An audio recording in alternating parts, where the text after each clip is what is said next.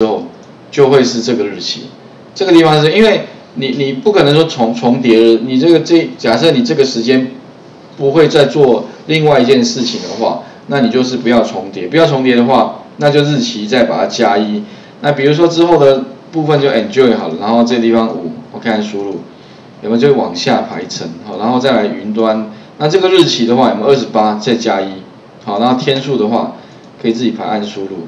那利用这样的方式的话，哦，我们假设我今天要做一个安排，哎，就会非常的可以是自己的一个 行程安排。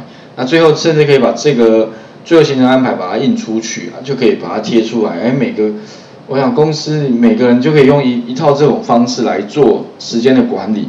哦，这个地方的话，那这个地方要怎么做哈？基本上呢，这个排程部分总共会分成几个阶段。第一个阶段是画面上面要做什么，那这个我想表达我们前面做蛮多的。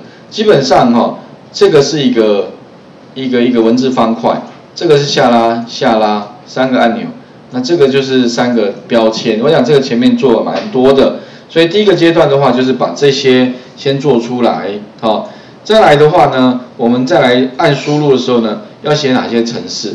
可以自动判断编号，然后呢，把这个项目填进去，把这个时间填进去，把这个时间再加上这个时间填进去，并且把这个时间有没有填完之后，把这个时间，把这个最后面时间再加一，好，大概这个输入部分还有清除结束哈，大概是这样的功能。